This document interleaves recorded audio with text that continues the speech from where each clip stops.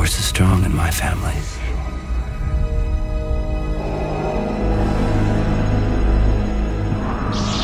My father has it.